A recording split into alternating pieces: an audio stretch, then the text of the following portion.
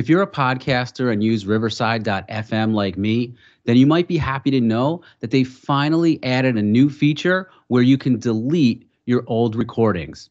I'll show you how in this video.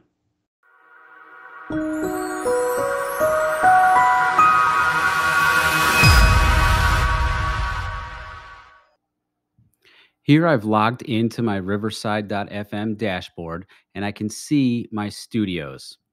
When I find the studio I want and I click view recordings, there are all the recordings that I've done in that studio.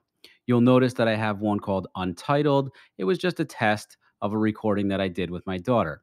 If I want to delete it, I click into it and then find the three dot menu at the top of the screen and simply click delete.